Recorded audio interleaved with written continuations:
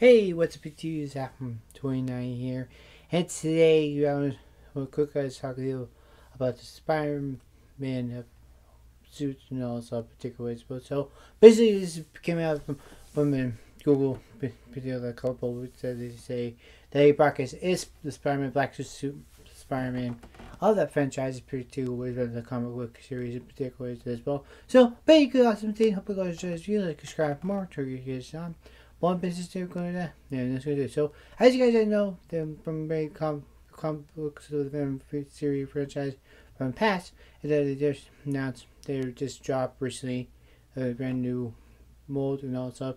But it's pretty good, awesome thing for sure. And particular is as well. And while yeah, please subscribe, turn ears on and anything particularly as well. And it's good to one for so. This is a pretty awesome thing for good. He's really good did mention that's pretty symbiote the black suit pretty good and all stuff bit super thing as well.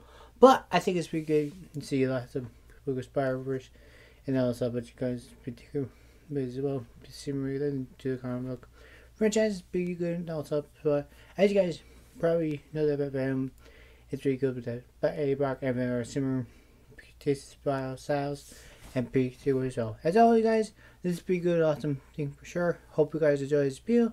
Make sure subscribe to this channel for awesome, great, cool content. And also, here's, and I'll see you guys in the Adam in Japan, pam, pam, Adam in Japan.